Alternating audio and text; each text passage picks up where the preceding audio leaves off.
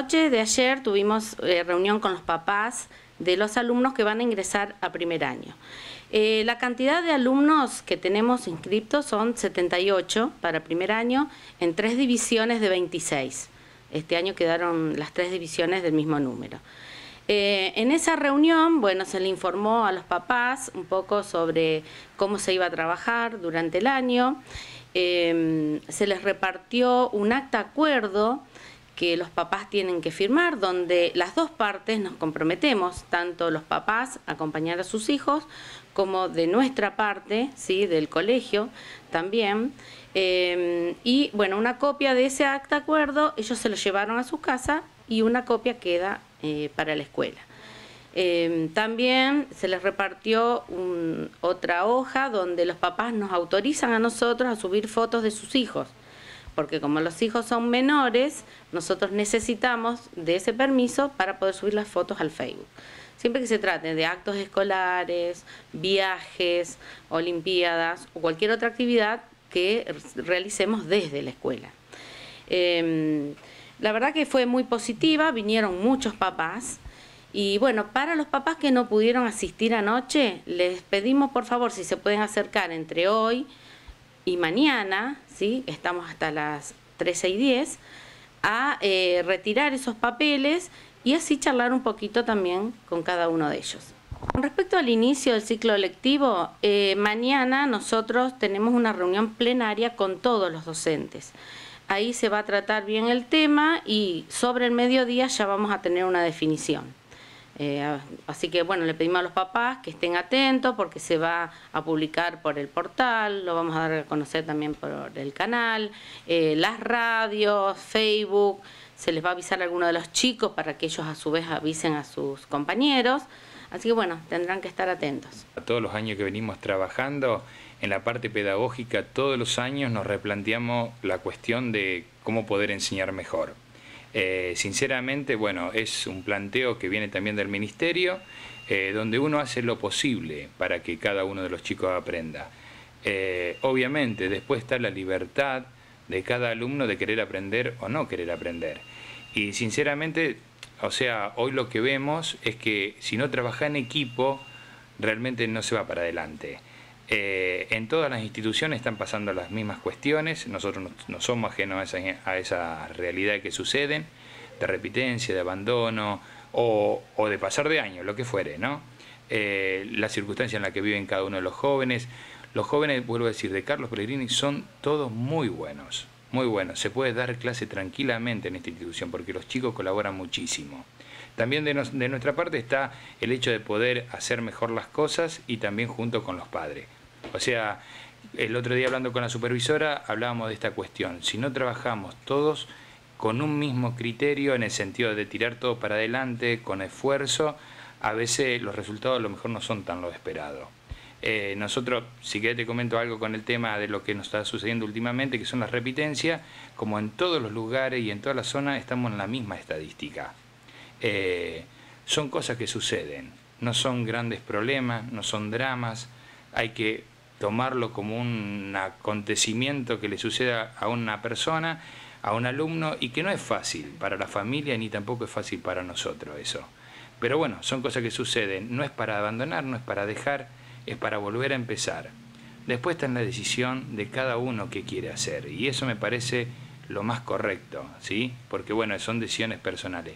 Pero insisto, la educación no es solamente el conocimiento, sino de la formación integral.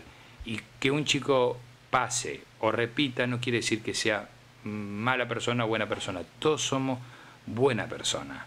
Y después, bueno, nos pueden suceder estas cosas. Pero vuelvo a insistir, en la parte pedagógica se busca siempre que todos podamos llegar a aprender. ¿sí?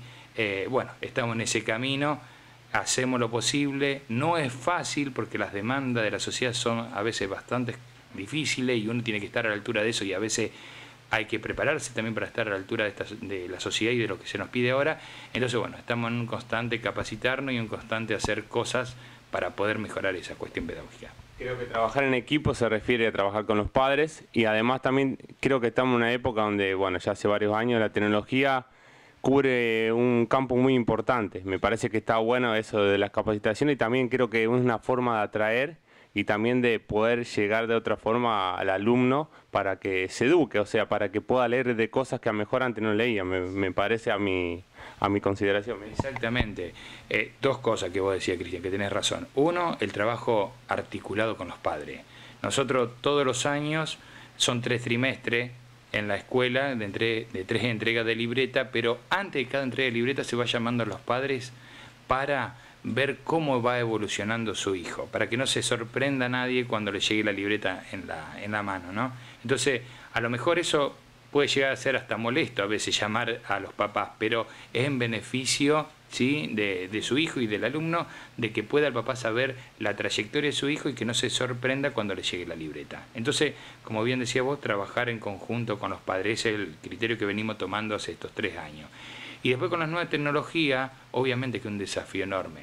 Nosotros lo que tratamos de hacer es las nuevas tecnologías incorporarlas, no desecharlas, y tratar de, a veces, nosotros decimos siempre esto en las nuevas tecnologías, los chicos a veces se informan, pero no se forman. Entonces es difícil a veces buscar información que sea formativa, entonces ayudarlo a que ellos mismos puedan manejar esas cuestiones de la, de la información y que le ayude a formarse en eso, ¿no? Nosotros también no somos de la era de la tecnología y nos tenemos que acoplar a eso, por eso también, como te decía, las capacitaciones que vamos teniendo durante los años para poder estar a la altura de esa circunstancia. El trabajo en equipo. Eh, justamente ayer yo estuve reunida con eh, Mónica Chiabrera, que es nuestra supervisora de SPEP Zona Norte, y junto con otros cuatro supervisores más de otros distritos. Ellos lo que están haciendo, trabajan en equipo también. Eh, salen los cinco juntos y van a distintos sedes de los distintos circuitos. Por ejemplo, ayer estuvieron en Rafaela citando algunas escuelas y eh, mañana, por ejemplo, van a Avellaneda. Entonces ellos también destacaron el trabajo en equipo que ellos están haciendo. ¿sí? O sea, todos este, en forma coordinada. Y ah, también, a raíz de esto de las nuevas tecnologías, lo que ellos propusieron es hacer eh, un grupo, formar como un grupo colaborativo con todos los directores de las distintas escuelas, donde ahí cada uno puede volcar eh, su problema o cómo solucionó eh, un determinado caso, entonces vos por ahí leyendo te puede servir ¿sí? como ejemplo para tomar la misma decisión o no, según el caso, pero todo este, colaborativamente, ¿no? En una plataforma. nuestro caso, bueno, tenemos la suerte de contar con Ariel, ¿sí? que bueno, es vicedirector, vamos a trabajar también en conjunto con la nueva representante legal, que es la señora Liliana Balinotti, eh, con el padre Diego también, con los docentes, con los secretarios, es decir, siempre trabajando colaborativamente. Eh, nosotros este año tuvimos que hacer, después si querés pasar a ver, una parte nueva de la galería, del piso, que eso ya está terminado. Eh, estamos terminando el Zoom con el cielo raso, que ya falta muy, muy poquito. Y se ha adquirido un terreno justamente lindante con el Zoom, un terreno de unos 15 metros por, por 12, eh, que realmente lo necesitábamos porque la escuela no tiene más espacio físico y necesitamos construir eh, un laboratorio nuevo, una sala de informática, otro salón de clases. Y bueno, entonces se vio la posibilidad, el señor Hugo Páez eh, estuvo dispuesto y bueno, y nos vendió parte de ese terreno.